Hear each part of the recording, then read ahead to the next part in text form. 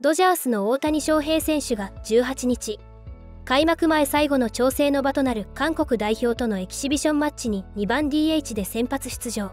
この試合は3打数無安打で前日17日のキウム戦と合わせ5打数無安打という結果で開幕前の最終調整を終えました。妻のまみこさんも初めての観戦とあり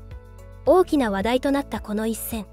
スター選手揃いのドジャースはさすがの強さで韓国代表相手に勝利。開幕戦に向けて期待が高まります。そんな中残念ながら3打席凡退となってしまった大谷選手。米メディアがこの試合についてありえないとするとファンからもネガティブな意見が噴出する事態となり話題となっています。今回も大谷選手に関する最新の海外の反応を紹介していきますので是非最後までご覧いただきあなたの考えをコメントで教えてください。それでは参りましょう。韓国とのエキシビションマッチで見えた問題点に米メディアが本音。こんなのはありえない。この日は初回にマンシー選手のタイムリーで先制。ですが3回昨季先発ローテの一角を担ったミラー投手が連打を浴びノーアウト2、3塁のピンチを招くと内野ゴロと犠牲フライで逆転を許してしまいます。それでも開幕に向けてベストメンバーが並んだドジャース打線。直後に4番スミス選手のタイムリー二塁打で試合をひっくり返すと続くマンシー選手もタイムリー二塁打で続き韓国代表を突き放しました。7回には途中出場の右打者テイラー選手がライトへダメ押しの一撃を放り込むなどさすがの強さを見せたドジャースが韓国代表に5対2で勝利しています。ただ大谷選手は3打数ノーヒットとこの日も快音は響かず第1打席でチェンジアップに泳がされてファールフライに倒れると第2打席は内角直球に差し込まれてレフトフライに。それでも打球が高々と舞い上がっただけでスタンドから大歓声が沸き起こっていました。第3打席は初球を痛烈に引っ張り込み強烈なゴロとなりましたが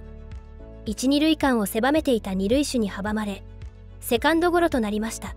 投手陣は先発ミラー投手が2失点こそしたものの6回以外は無失点に抑える投球を見せスピードも100マイルを計測するなど5回6安打2失点6奪三振をマーク。6回から後を受けたストーン投手は韓国代表打線を無安打に封じ3回3分の1で7奪三振と素晴らしいピッチングを披露しました。エンゼルス時代は大谷選手のワンマンチームと言われることもあり負担の大きさを心配する声が多かったですがドジャースでは大谷選手が打たなくてもレッツ選手フリーマン選手の MVP コンビ正捕手のスミス選手やマリナーズから移籍してきたヘルナンデス選手などタレントが揃っています。悲願のワールドシリーズ制覇へ向けて船出のゲームとなる20日の開幕戦。チームは好調を維持し韓国でパドレスとの一戦を迎えます。そんな中韓国メディアでは連日大谷選手の話題で持ちきりとなっているようです。朝鮮日報電子版では大谷の韓国愛は本物。彼は日本で最高の外交官。という見出しで記事を掲載。記事では16日に行われた記者会見で大谷選手が韓国でプレーできるのは楽しみ。野球自体も韓国自体も楽しんで頑張りたい。と語ったことにフォーカスするとさらに12年前の花巻東高時代に韓国で行われた AAA 世界野球選手権大会に日本代表として出場したことに触れ大谷選手があの時から好きな国の一つなのでまた野球で帰ってこられてプレーするのは自分の中では特別かなと思っている。と答えたことを好意的に論じています。またスポーツにおける日本と韓国のライバル関係についても大谷選手は日本と韓国は昔から国際大会でも白熱したいい試合が多くて子供の頃からずっと見ていた韓国のチームも僕の中では思い出があって素晴らしいチームだなと思っている。と言及。昨年の WBC で日本を3度目の優勝に導いた MVP 会見でも。日本だけではなくて韓国も台湾も中国もまたその他の国ももっともっと野球を大好きになってもらえるようになることを願っている。と語り韓国国内で話題となったことを取り上げています。このような発言の数々から同志は大谷の韓国愛は単なるリップサービスではなく野球に対する愛と同じくらい真摯な姿勢が感じられる。大谷が奉還を前後して自身のインスタグラムに対局記をすでに4回も掲載している。とも報じ大谷選手こそが日韓関係を良好にする外交官だと結論付けています。ネット上では何でも日韓関係に結びつけるな。などと批判する声も上がっていますが日本人として大谷選手が好意的に迎え入れられることは喜ばしいことですよね。ただその一方中継では日韓の文化の違いを感じさせる光景やファン参加型イベントなどが映し出され米記者が動画付きで紹介。メディアやファンからは驚きとともに批判の声も上がっています。これに日本人ファンからも日本では絶対なさそう。不思議。などと困惑する声が続出する事態となっていますエキシビションマッチのイニング間に観客席で行われたのはファン2人によるビール早飲み対決。なんとストローを使ってジョッキに入ったビールを勢いよく吸い込んでおりスタジアムの巨大スクリーンにもこの姿が映し出されると司会者の煽りに乗ってスタンドは大盛り上がりテレビ中継で対決の様子が流れると X 上の日本人ファンからはみんなダンスが好きだしビールをストローで飲んでるし不思議すぎる。だいぶ気になる光景。日本じゃ絶対なさそうだからすごいなって見入っちゃいました。食文化の違いが面白い。ビールジョッキストローで飲むのびっくり。など驚きの声が上がり中には急性アルコール中毒になりそう。と心配する声もアルコールの強要を良しとしなくなった日本では起こりえない光景でありおまけにストローでビールを飲むというスタイルには驚きの声が上がりました。同様のイベントはキウムとのエキシビションマッチでも開催。米カリフォルニア州地元紙ロサンゼルス・タイムズのドジャース版。ジャック・ハリス記者らが X で。ここ韓国での気の利いた試合中のエンターテイメント。などと紹介していました。また韓国の応援にも大きな注目が集まりました。まず米メディアが驚きを伝えたのが大谷選手への声援でした。クレイジーですね大谷がバットを振るたび怒号のような歓声が響いていますよ。ここは韓国です。こんな光景はありえません。そうメディアが驚くのも当然で大谷選手の登場時だけ段違いの歓声が起きていました。韓国でも大谷選手の人気の高さがうかがえます。またアメリカの野球ファンやメディアの間でとりわけ話題となったのがチアリーダーたちの存在です。韓国の野球ではスタンドの最前列やベンチ上にチアリーダーたちが立ちコールリーダーが歌う応援歌に合わせてダンスを交えながらひいき球団を応援するのが通常の光景となっています。ただこれを目の当たりにした米ファンの中には違和感を覚える人も少なくなかったようです。実際現地の様子を X で共有したドジャース専門メディアドジャースネーションのもとには頼むからやめてくれ。チアリーダーは必要ない。野球の邪魔だ。といった反発的なコメントも散見されました。ただ現場で声援を受けたチーム関係者たちは一様に好感を示しているようでドジャースを指揮するロバーツ監督は試合の邪魔だとは決して思わなかった。彼女たちが我々を応援してくれて非常に興味深かったしアメリカにはないからユニークだと思ったよ。と語るとパドレスのマイク・シルト監督も別に違和感はなかった韓国独自の応援にはこういうものがあると知っていたが個人的には楽しめた。と振り返っています。文化の違いには驚かされるばかりですがこういった意見や批判が出るのも海外遠征の面白い部分と言えそうです。そんな中米カリフォルニアの日刊紙オレンジカントリーレジスターが大谷翔平が今週後半に投球プログラムを開始するとドジャースが認めた。と報じています2023年9月に行った2度目の右肘の手術から6ヶ月二刀流のスーパースターは韓国遠征からロサンゼルスに戻った後に投球プログラムを開始する予定だ。と印アメリカに戻ったら翔平はプログラムを始めるだろう。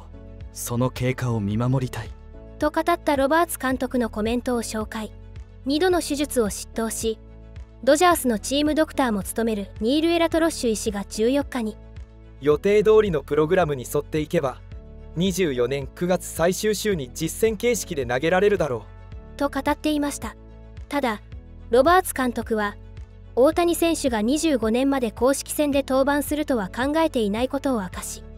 翔平のことだから何でも可能だと思う。エラトロッシュ医師は専門家なのだからそうなのだろう。とコメント。また大谷選手が投げられる状態になった場合外野で起用するプランを相変わらず温めているようで。彼の腕が十分に健康であればそのような話をすることになるだろう。今年は登板するつもりがないのは分かっている。今は DH に集中しているよ。とも語っています。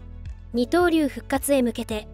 大谷選手は確実に歩みを進めているようです。そんな大谷選手と開幕戦で対戦予定のダルビッシュ投手が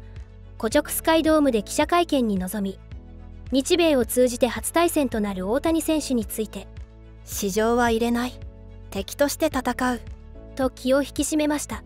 ダルビッシュ投手は高揚するような様子はなくとても落ち着いた表情で会見に臨みました。自身2年ぶり4度目の開幕マウンドで大谷選手と初対戦することに関して今まで一緒にトレーニングをしたりしましたけど今回は敵として戦う。市場を入れずちゃんと勉強して一人の打者としてしっかり対戦したい。と力強く語ったダルビッシュ投手。NPB 時代は日本ハムで11番を背負いエースとして君臨。2012年にメジャーリーグへ戦いの場を移すと翌13年に大谷選手が日本ハムに入団しました。昨年3月のワールドベースボールクラシックでは初めてチームメイトとなって優勝に貢献した2人ですが今まで一度も対戦したことはありませんでした。17日にブルペン入りし左打席に打者を立たせてスライダー系の球種を連投する姿を見せていたダルビッシュ投手。パドレスにとってドジャースはナ・リーグ西地区最大のライバルです。初めて韓国に来て自分も好きな国。韓国のファンの中で投げられるのはすごく嬉しいですしその相手がドジャースなのはすごく嬉しい。と今回の対決に特別な感情を抱いているようです。開幕戦での日本人対決に注目が集まります。そんな中やはり大きな注目を集めたのが大谷選手の妻の真美子さんです。この試合観客席には水原一平通訳の奥さん大谷選手のご両親と共に真美子さんの姿もありました。初めて現地で試合を観戦し大谷選手の打席では拍手を送るなど終始にこやかに応援を続けていました。テレビ朝日や ABEMA など国際映像には時折真美子さんの姿が映し出され関心度の高さを伺わせています。ただこれは日本だけではなくアメリカ向けにライブ中継を担ったスポーツネット LA も同様に大注目。マミコさんの様子がスポットで抜かれると実況担当のジョー・デイビス氏は先ほど映ったのは彼の妻のマミコさんですね。と紹介。それにしても彼の結婚は日本やアメリカだけでなく世界を駆け巡るビッグニュースになりました。ここ韓国へ向かうフライトの前に翔平が彼女の写真を公開してようやくその正体が明かされたのです。と経緯を説明すると解説でドジャース OB のオーレル・ハーシュハイザー氏もこれに反応。7億ドルの男がマーケットからいなくなってしまったんださぞやたくさんの女性が涙したことだろう。と冗談を飛ばして笑いを誘っていました。デイビス氏はさらに。翔平は普通の日本人女性だと話していましたが実際のところはバスケットボールの元選手だったんですよね。と補足情報も伝えるなどマミコさんについてはアメリカでも大きな注目を集めているようです。開幕戦まで残すところ1日となったドジャースと大谷選手今季を占う大事な一戦であるのはもちろんですがダルビッシュ投手との日本人対決にも期待が高まります。練習試合では快音が響かなかった大谷選手ですがどのように調整してくるのか注目が集まります。最後までご覧いただきありがとうございました。この動画が良かったら高評価チャンネル登録をよろしくお願いいたします。それではまた次の動画でお会いしましょう。